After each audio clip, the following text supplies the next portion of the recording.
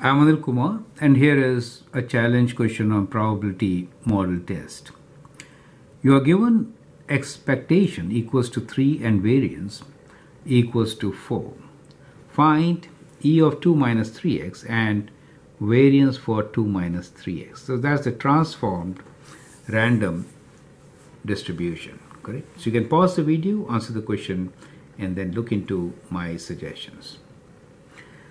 Now in this particular case, we are given that the expected value is equals to 3 and the variance is equal to 4. Now how are these two related? We know variance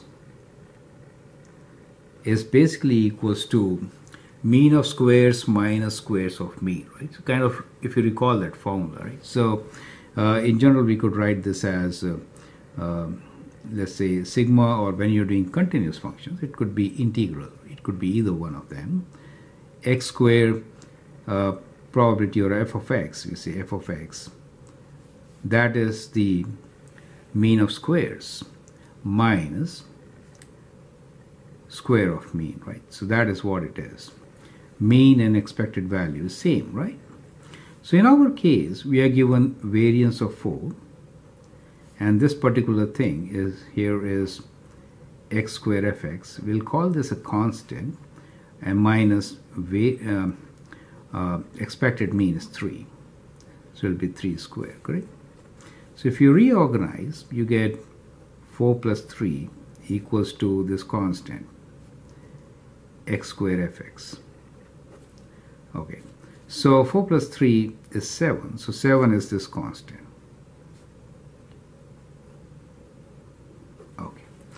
So that is one equation which is going to help us to really solve this particular question.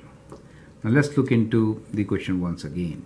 It says we are given that the expected value for the random variable x is 3 and the variance is 4. Find the expected value for 2 minus 3x and variance for the same. Right? That is what it is. So the function has been transformed. Now based on that, let's look into the transformation part first. So what is E? 2 minus 3x equals to. Right, so this is what we need to calculate first. What is this? Equal to, right? So in our case, we can substitute the value 3 for x, correct? And find the value. So it is equals to basically 2 minus 3 times 3 right? 3 times 3 which is equals to 2 minus 9 or minus 7 so this value is minus 7 so that is how we could find this value. Now as far as the variance is concerned variance for 2 minus 3x will be equal to this quantity which is which we are calling as a constant minus the mean square right? Minus the mean square. That should give us the variance. Now this quantity here is 7 right? So we have uh, 7 minus the mean square which we have calculated as minus 7 so that is equal to minus 7 whole square, right? So that is how we could find it.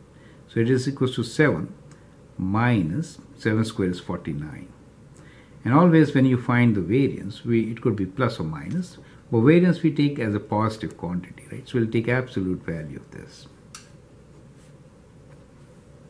So that is equal to